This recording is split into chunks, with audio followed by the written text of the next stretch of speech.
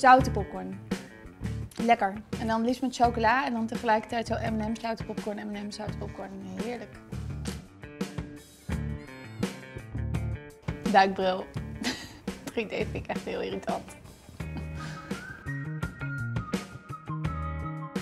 Tijdens, na, vooraf.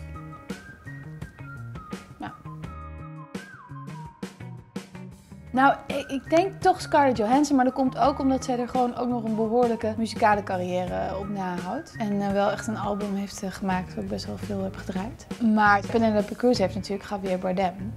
Dus misschien toch... Hmm.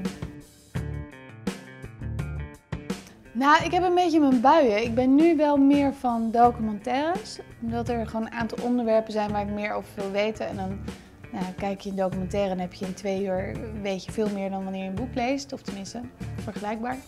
Ehm, maar ik heb wel echt mijn fases. Dus voor nu documentaires. Bill Murray, every day, any day, always Bill Murray. Chicks dig me. Bollywood, natuurlijk. Nee, ehm, nou, Nollywood. Nollywood is, is zeg maar in Nigeria. Daar maken ze ook elk jaar heel veel films.